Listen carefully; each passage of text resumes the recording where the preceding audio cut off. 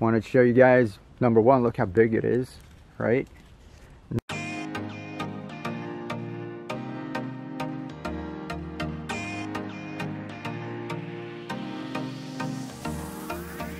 Hey, Mike VanDuzee with Keep On Growing. Hope you guys are having a fantastic day. Uh, we got something cool to show you. It's over here. We're gonna go up the ladder right there. Let me turn this around. Sorry about that, but hold on one sec. There we go. It's right there. It's our pak choi. Wanted to show you guys, number one, look how big it is, right?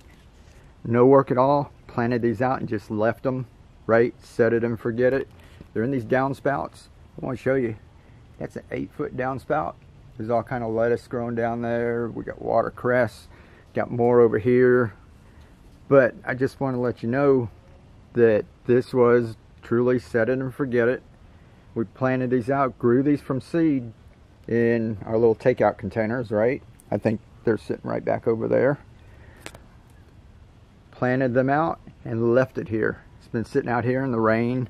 This still has a good amount of water in it, so the nutrients get a little diluted, but you can still grow some plants without all of the stress and, and, worrying and all of the work. I just planted this out. We've got kale growing down there. We've got pak choi. There's more kale back there. We've got watercress. Not to mention our whole wall. We'll talk about that later. It's a little bright over there right now. But carefree, totally carefree. This is why everybody needs to be growing like this.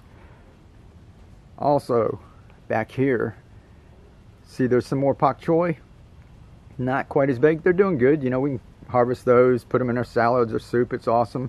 But you notice they're not quite as big as these right out here. And that's because they're under the shade cloth. We talked about that before. So the amount of light that you can get your plants, you know, where they're not wilting and, you know, they're not, they're not in the direct sun all day. As much light as you can get them is always best. These are sitting out here. They did quite nice, right? and just a couple feet away. You know, these guys are doing good, but the results are not the same as the ones that are out here in the sun. So wherever you're living, if you're having problems, you know, it might be as simple as just taking something and moving it a little. It might just need a few more hours of sun, you know, every day. So there's a whole lot that goes into growing and you can stress out about everything or you can try and do something like this. Plan out your greens, right? You can find out, you know, where things grow best, how they grow best. And I just use the Master Blend formula. I don't mess around with it. I don't change it up. I don't do anything. It's just the same Master Blend formula we've been using. Put them in our downspouts. Planted these out, you know, from seed, right? They were grown in little takeout containers. I think I think they're actually over there. I still got the ones, so you can see how small those are. Those are the same ones that we took and we planted these out, right? And once they get into the nutrients, they take off. So these guys took a few weeks, you know, they were small, they were growing kind of slow. We had a little bit of weather, got kind of cold, but after a while it warmed up here, things took off, and everyone needs to be growing stuff like this. You know, if you're a seasoned gardener, if you like growing in the soil, that's fine. We're doing a little back to Eden experiment over here. You know, we're not knocking anything, right? As long as you're growing, that's all that's important. But the people who have tried growing traditional gardens and doing the weeding and tilling and and all of the work that goes with it, if you're having problems with that, make you one of these or get one. They're on sale. They're you know in my Etsy shop. The link down in the description. Get the end caps. You can make your own. It's nice and easy. But if you do this and you get the hang of this, you'll do it over and over and over you'll be addicted. There won't be any stopping you. Look at all our moringa up here. This is our moringa we planted out about three years ago. So it's winter time. It's about time to cut it back, but we still love putting that in our smoothies.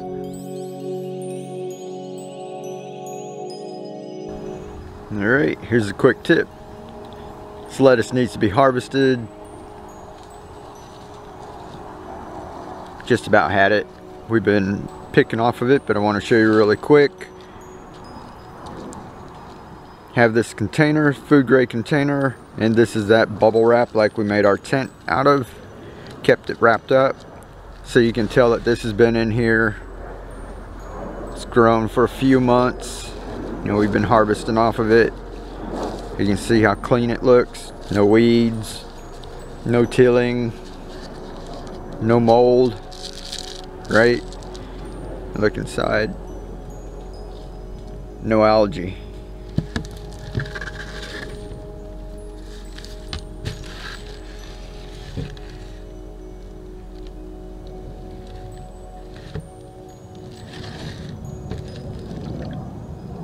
So that's one way to control your algae is to control the light, keep all the light blocked out. All right, gonna replant it.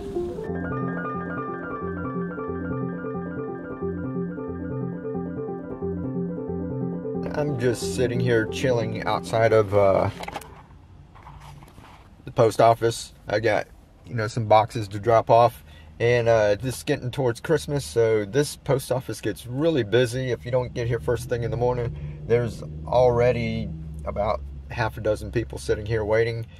Um, it gets busy and you can be here for a while. So I like to get here right when they open. And my problem is there's only one road, one direct route out of my neighborhood, and there's a school zone. And the traffic backs up onto the main road it's a tiny road, so there's nowhere for cars to pull over, so they block up the roads, and the only way to get around is to go into ongoing traffic. And it's just a big mess, so I, I like to avoid it. What I like to do is just go ahead and get me a little cup of coffee, leave a little early, and just sit here and wait, and, and uh, figure it'd be a good time to make a video. I'm excited, like I said, I'm, I'm here dropping off some packages. Uh, you guys don't realize how many people are out there like like growing their own food. It's it's exciting and it just blows my mind. But uh, I just want to let you all know, like the downspouts, the end caps. I'm really excited about this. And I want to thank Karen from the World Race Project uh, for getting me going on this because this opens it up. Like I had that video said game changer. I I wasn't joking about that. That wasn't like a title just to like get attention. This really is. And uh, with these end caps, um, instead of ordering like these big boxes, the downspouts, I only sell them in like uh, one length, and it's 24 inches right now. And the reason why I do that is it's a, a good sized grow box. You can get, you know, six plants in there. Um, I use them. I have a lot of them around my garden and I enjoy it. But I've also got some that are four foot and some that are eight foot. And if you've got like back on our uh, um, house when we were farm sitting, we had uh, handrails that were eight foot apart and we had eight foot downspouts, right?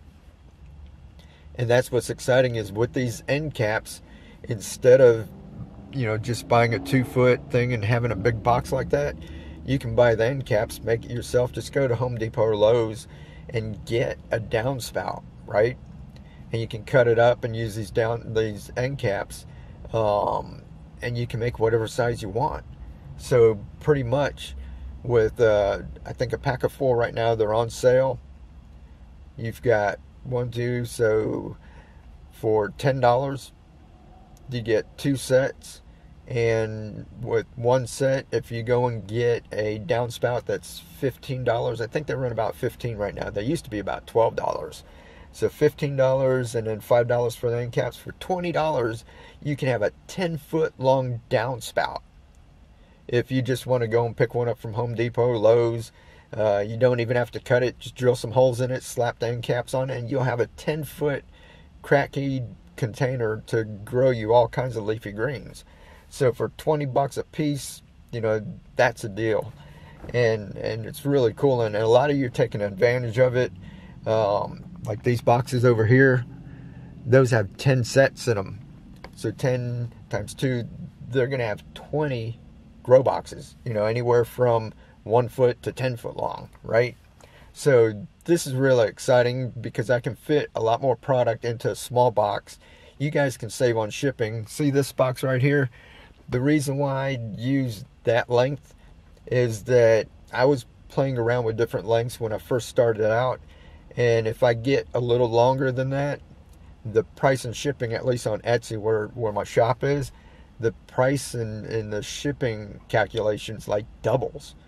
And, and it's crazy because then the shipping gets to be almost as much as or more than the product itself. You know, if I run a sale, people are paying more for shipping than my actual product. So with the end caps, we can fit a lot more in a smaller package. You guys can get more bang for your buck. You're not paying for a huge package if you just go to Home Depot or Lowe's and get the vinyl downspout yourself. That's the big part. If you can do that, I got the end cap for you and and for relatively not that much money. I mean, 20 bucks for a 10 foot downspout. Um, and, and you can have you, yourself leafy greens, herbs, just all kinds of stuff growing all through the year. It's, it's just fantastic. So you guys take advantage of it right now because I've got it on sale, half price. Uh, a set of four was $19.99. I've got it for $9.99 right now. And basically, after I buy the materials, I buy the boxes, I buy labels, I buy tape, I buy uh, printer ink, um, paper, uh, packaging material.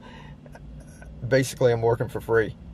But I don't mind it because this isn't about me. This is about all of us, right? This is about uh, helping the world, right? This is teaching the world how to feed itself. So I can't do it forever but I don't mind doing it right now. It's Christmas. I'm in a festive uh, mood, and I don't mind putting in a lot of work. I work to the wee hours of the morning, you know, cutting these things, packaging them up. Um, I want people to grow their own food. Like I said, we're starting a movement. This isn't uh, about me just selling a product or whatever. This is helping a lot of people grow their own food. So, uh, like I said, I can't do it forever. Um, I could go work at McDonald's and, and make 12 bucks an hour, 15 bucks an hour. But uh, at the end of the day, you know, when we look back, we're going to look back at, you know, how many people we helped and, and not worry about how many hours I spent making something or, or how much work I put in. It's, it's, it's more about helping everyone, right? So take advantage of it now. Like I said, I can't keep doing it forever. Uh, holidays are coming up. Usually there's not too much shopping going on from Christmas till New Year's, you know, I can just put my nose to the grindstone and, and get a lot of work done. So I don't mind helping people out. Uh, but like I said, I can't do it forever. So uh, let's get it done. You guys share this with, you know, all your friends. Let's get everybody growing their own food. What do you say? Well, all of this right here, all of that there, all of that, all the way down there, all of that, and all of that stuff out front I haven't done anything. All I've done is come out here and plant them and left it. You know, so take it easy. Don't stress out. It's totally possible. Much love. Y'all get out there. Go grow something. Life's too short not to grow your own food. Live to inspire. Keep on growing. Be the change. Ba, ba, ba,